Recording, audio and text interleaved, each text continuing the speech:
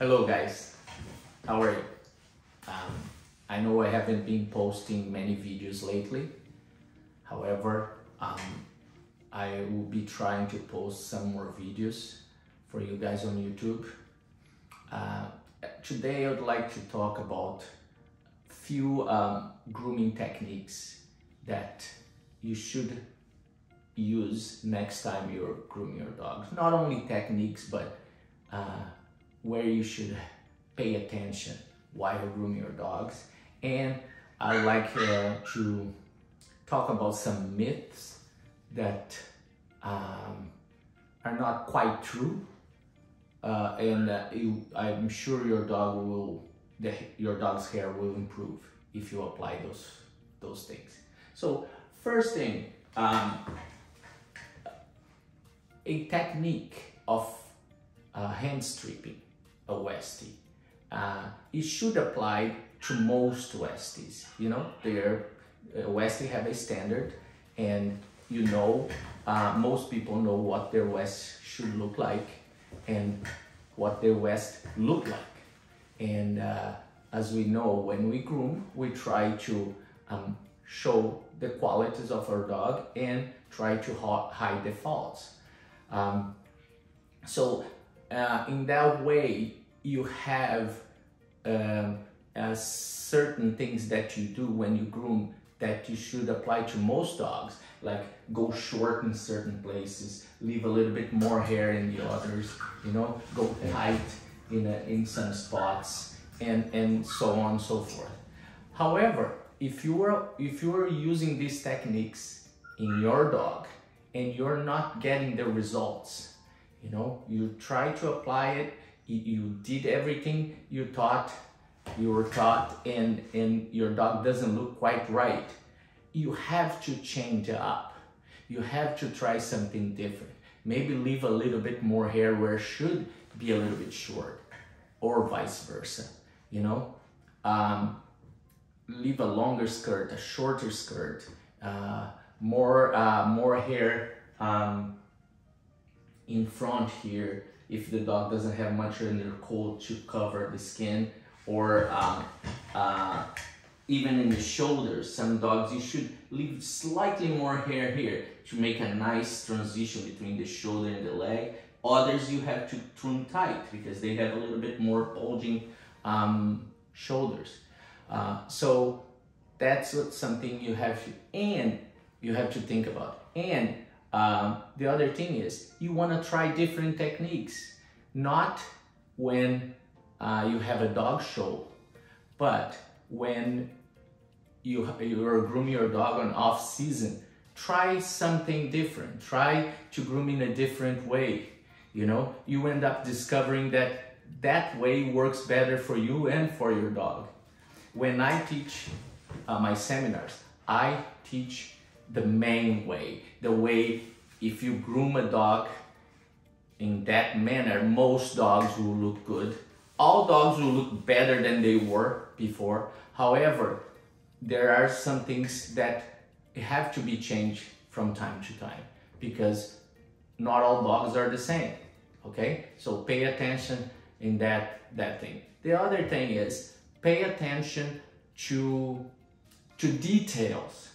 That's where the difference between a dog that's well groomed and a dog that's really nice. You know, it's exceptionally well groomed. It's that's where the difference in the details. You know, it's behind the ear here to clean, very nice here. You know, like uh, when you look the dog on the side to leave this part flat and not hair like this. Uh, uh, obstructing the nice straight line here, you know. So um, do the ears correctly, you know. Take the tip and make a nice uh, V pointy shape. Don't exaggerate the point of the ears. A lot of people do with the with um, straight scissors. I use the straight scissors to take the hair off the tip here, but most of the time I don't use the straight scissor to do the V here because I think it looks too unnatural, you know, like it looks cut. you know, and um, no West, no Westie have uh, a ear like that. This is pointy enough. This is point is correctly pointy. It's not round top. You don't have to cut and make like a pointy with your um, with your straight scissors. Okay. Um, so second is to pay attention to details. Very important. The third thing is it's uh, I want to bust one myth. Uh, and a lot of people know this already, but a lot of people, many people don't know uh, that uh, it is okay to use conditioner in Westie. A good conditioner won't make the hair soft.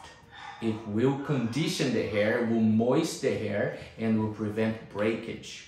Okay, so um, uh, your your dog's hair will be healthier, uh, much easier to groom, and much easier to maintain, like a, a, skirt without holes and things like that. So uh, if if you're if you're not showing or showing every once in a while do the furnishings um, do uh, use the condition the furnishings ahead maybe once a month you know? And um, and even there's some leave in uh, conditioner that you can spread in your hands and use a little bit in the head and in, on the legs and the skirt um, to to avoid breakage. The other thing is when you do that, you also have maybe once a week wash the furnishings to so the, the hair doesn't get soiled because of the condition that you lived in. But using conditioner is a very important thing and uh, I think everybody should do this for the health of their Westie hair, okay? So these are three things that I want to talk and um, I hope you guys apply that to your, your next time you groom your dog and uh, help, I hope this will help improve your, um, your grooming, okay?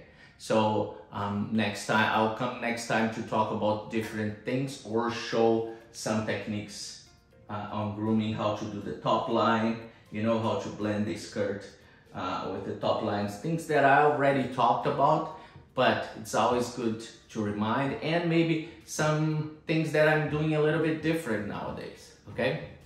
So thank you for watching. Please don't forget to subscribe to my channel and click on the thumbs up there. It'll help me a lot. And uh, I hope to see you next time. Thank you very much. Bye.